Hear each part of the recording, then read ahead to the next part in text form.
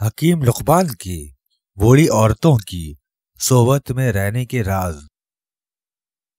बूढ़ी औरत के पास बैठोगे तो बुढ़ापा देर से आएगा। बूढ़ी औरत से बात करने छाती का कैंसर नहीं होता।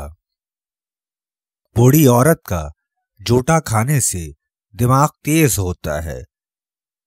बूढ़ी औरत की बनी रोटी खाने से दवा नहीं होता। बूढ़ी औरत से, जमा करने से, जवानी वापस आती है। बूढ़ी औरत की बड़ी रोटी खाने से, दमा नहीं होता। बूढ़ी औरत से, जमा करने से, जवानी वापस आती है। बूढ़ी औरत की सोहबत से, बंदा मतवाजन हो जाता है।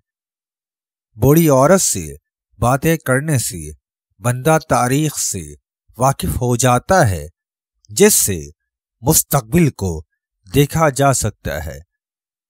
बूढ़ी औरत से माजी को याद करने में मदद मिलती है। बूढ़ी औरत की सोहबत में ज़िंदगी जीने का सलीका आता है। बूढ़ी औरत के साथ बैठने से, मुश्किल हालात से निपटने का तरीका आसानी से सीखा जा सकता है। बूढ़ी औरत के साथ बैठने से ज़िंदगी को जीने में मदद मिलती है।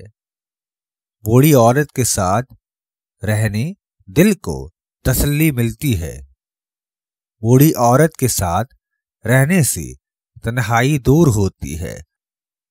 बूढ़ी औरत के साथ बैठने से दुख कम हो जाते हैं।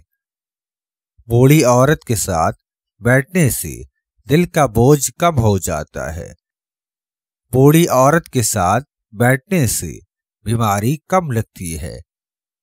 बूढ़ी औरत के साथ खाना खाओ, खालिश मिलेगा। बूढ़ी औरतें ज़िंदगी की तल हकीकत से पर्दा उठाती हैं। बूढ़ी औरतें तुम्हें जीने का बेहतर और आसान तरीका बता सकती हैं। बूढ़ी औरतें तुम्हें दौलतमंद होने का रास्ता दिखा सकती हैं।